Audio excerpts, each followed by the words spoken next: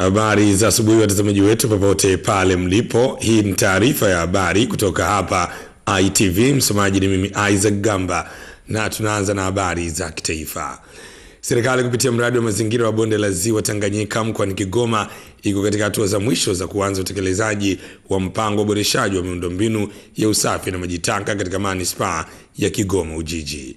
Hayo yamebainishwa na mratibu wa mradi huo Bwana vitali simnyanga katika mkutano wa kutathimini mfumo mpya wa kutunza maji taka na taka ngumu, mfumo ambao kutokuwepo kwake kumesababisha maradhi. huu unajaribu kuangalia jinsi gani tutakavyoweza kushughulikia maji taka, kushughulikia taka ngumu pamoja na maji ya mvua katika mji wetu wa Kigoma. Na tulivyojipanga ni kwamba uh, sehemu ya kwanza tunaanza na ueleweshaji. Sasa hivi tumepata mtaalamu mwelekeshaji, mtaalamu mshauri ambaye ametushauri Dr. Shabani Mgana kutoka Chuo Kikuu cha Ardhi. kwa sababu nyinyi ndio mnajua resources mlizo nazo, idadi mliokuwa nao, mazingira mliokuwa nayo yanafananaje, kiasi kwamba ukitoa hayo maji machafu, basi katika uwiano unaotakiwa mna umudu. Kwa hiyo serikali haiwezi kuambia, serikali kuu haiwezi kusema nyinyi mtoe hivi. Ni manispaa ya Kigoma Ujiji inatakiwa ikae chini, itoe sera jinsi gani itamudu maji machafu. Kwa upande wao, baadhi ya washiriki wa mkutano huo wameonyesha wasiwasi wao juu ya mafanikio ya utekelezaji wa mradi huo kutokana na maeneo yanayotakiwa kudhibitiwa na hasa milimani kuwa ni makazi ya watu hivi sasa. Uh, mji wetu wa Kigoma Ujiji bado itakuwa ngumu sana katika utekelezaji, kwani eh, kuna vitu vingi sana ambavyo vimeonekana kwamba uwezeshaji wake bado ni ndoto. Kwa hiyo e, inabidi e, asasi zinazohusika hasa halmashauri ya manispaa e, KUWASA na hata ofisi ya mkuu wa mkoa wakae pamoja waweze kuangalia uhalisia wa kuweza ku, kuangalia huu mpango mkakati namna unavyoweza kufaidisha huu mji wa Kigoma Ujiji. Wasimamizi wasaidizi wa uchaguzi ngazi ya kata wilayani Kisarawe wameonywa kutoegemea upande wowote wa wagombea wakati wa usimamizi. Mkuu wa wilaya ya Kisarawe Bibi Hanifa Karamagi amesema kuna malalamiko katika kura za maoni za Chama cha Mapinduzi zilizofanyika hivi karibuni wilayani humo kuwa baadhi ya watendaji hao ambao sasa ndio wasimamizi wasaidizi walikuwa wapambe wa baadhi ya wagombea. na kuhakikisha mnajua utaratibu unaotakiwa katika mchakato mzima wa uchaguzi. Kujua kwenu vyema tutasaidia sana kuleta mafanikio na matokeo mazuri ya uchaguzi katika wilaya yetu. Hatutaki kusikia mizengo ya aina yoyote. Hatutegemei kuwasikia wasimamizi wasaidizi na wasimamizi wanalalia upande wowote. Swala lingine ni rushwa. Nafikiri mmeona tu uchaguzi wa chama mambo yalivyo, na miongoni mwetu mnawafahamu, na sisi hataki kurudia kwenye mambo hayo. Tukisikia mtu amekamatwa na utaratibu, sisi hatutamtetea, tutamsogeza. Uongozi katika ngazi mbalimbali umeshauriwa kuwa na utaratibu wa kushirikiana katika kupanga matumizi ya maji yanayopatikana ili kukabiliana na tatizo la upungufu wa maji na kuondoa migogoro inayotokana na mgawanyo usio haki wa matumizi ya maji. Mkuu wa mkoa wa Singida Dr. Paseko Kone amesema hayo wakati alipokuwa akifungua washa ya siku mbili ya mpango wa kuendeleza rasilimali ya maji. Kama kila sekta, kila wilaya na kila mkoa utapanga mipango yake ya maji jinsi watakavyoona inafaa bila ya kushirikiana, ni dhahiri kuwa migogoro ya maji iliyokuwepo awali itaongezeka. hii muhimu ya maji inayotumiwa na wadau mbalimbali kwa matumizi mbalimbali. Tumekuwa tukipanga mipa- mipango yetu kisekta. Wanaohitaji maji ya umwagiliaji wanapata peke yao, wanaotaka ya mifugo peke yao, wanaotaka ya viwanda peke yao, wanaotaka ya umeme peke yao.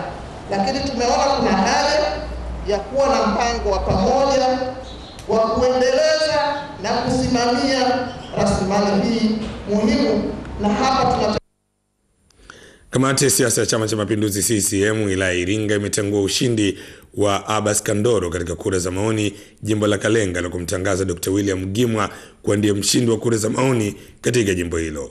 Barua ya kumtangaza Dr. William Gimwa kuwa mshindi wa kura za maoni katika jimbo hilo imethibitishwa na mwenyekiti wa CCM wilaya Iringa Bibi Adelfina Mtavilalo ambaye amesema Dr. Mgimwa ameshinda kwa kura 5212 dhidi ya kura 4200 alizopata bwana Kandoro.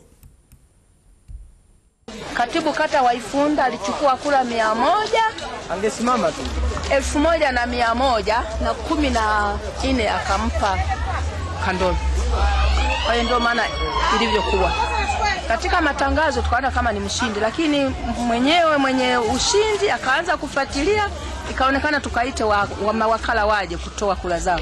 Kwa hiyo imeonekana mshindi ni Mgimwa. Utata wa matokeo hayo ambayo awali yalimtangaza Dkt. Mgimwa kuwa mshindi na baadaye kunyang'anywa ushindi huo na kupewa bwana Kandoro ambaye ni mkuu wa mkoa wa Mwanza umelalamikiwa na wanachama wa CCM. Taasisi ya kuzuia na kupambana na rushwa TAKUKURU imesema inaendelea na uchunguzi wa rushwa katika uchaguzi na kwamba hatua zitachukuliwa kwa yeyote atakayethibitika kujihusisha na vitendo vya rushwa wakati wa mchakato wa uchaguzi mkuu. Tupate taarifa zaidi. Zungumza jijini Dar es Salaam katika mkutano wa wadau na wakaguzi wa hesabu za serikali, mkurugenzi wa taasisi ya kuzuia na kupambana na rushwa nchini TAKUKURU Bwana Edward Hosea amesema haikuwa nguvu ya soda katika kufuatilia nyendo za wagombea na kwamba wananchi wataona matokeo yake baada ya uchaguzi kukamilika. Hakuna mtu aliyekamatwa. Kilichoendelea hapa ni uchunguzi. Uchunguzi unapofanyika, kama unavyofahamu, TAKUKURU ni chombo cha dola. Chombo cha dola kina nguvu ya kukamata mtu. Mtu yote anayetuhumiwa kwa kosa lolote anakamatwa, arrest.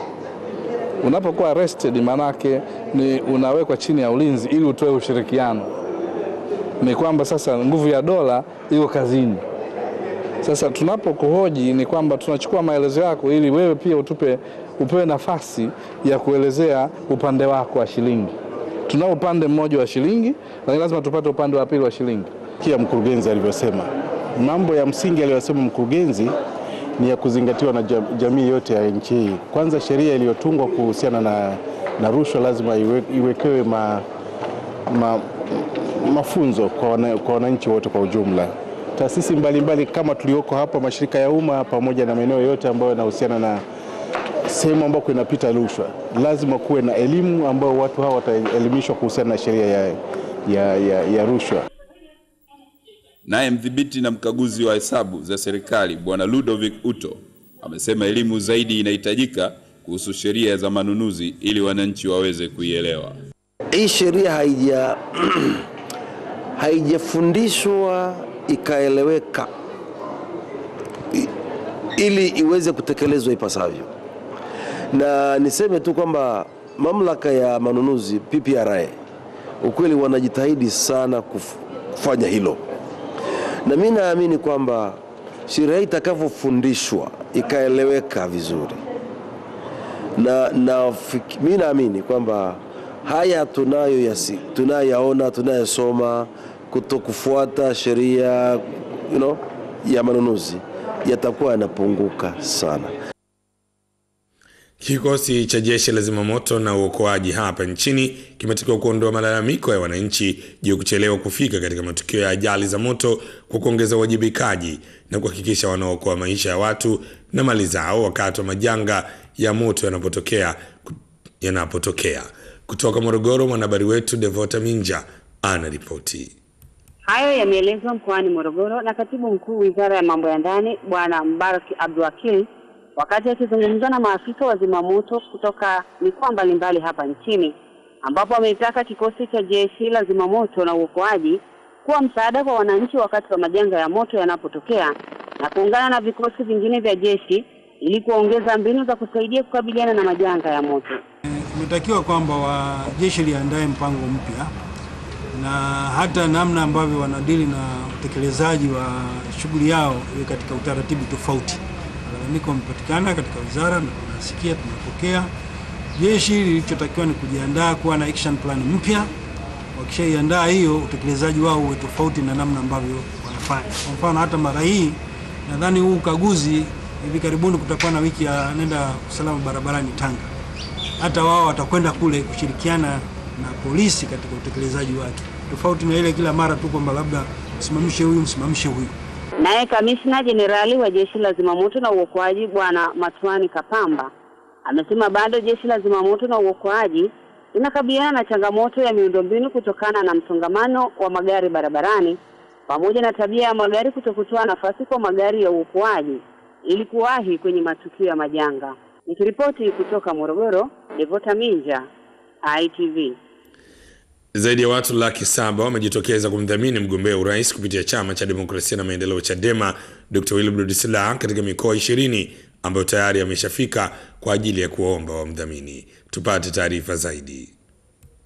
Akizungumza na umati wa wakazi wa mkoa wa Kilimanjaro kwenye mkutano wa hadhara uliofanyika mjini Moshi kwa ajili ya kuwaomba wadhamini, Dr. Slaa amesema Tumetazama hali ya Watanzania, nimegundua kwamba mapambano haya siyo ya Chadema na CCM. Tuko kwenye mapambano ya ufisadi na watu waadilifu, walalahoi, wanyonge. Ni mapambano dhidi ya mafisadi ambao wamewakandamiza Watanzania katika kila eneo, katika kila sekta. Ukienda kwa wafanyabiashara wametandikika vibaya sana. akimkaribisha mgombea huyo wa kiti cha urais, mwenyekiti wa chama hicho mkoa wa Kilimanjaro, Mheshimiwa Philemon Ndesamburo amesema Hawa ni wakazi wa Moshi, wanakuombea na kila la heri ili uweze kufika Ikulu.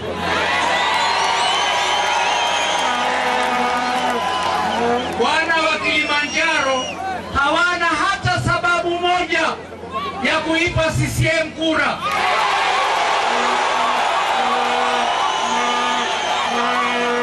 Wana wa Kilimanjaro wamenyanyasika ya kutosha.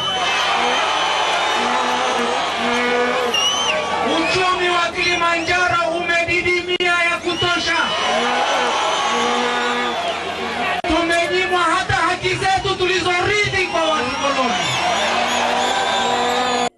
Katika hatua nyingine, chama hicho kimepata mgombea ubunge ambaye atamrithi Dr. sla katika jimbo la Karatu.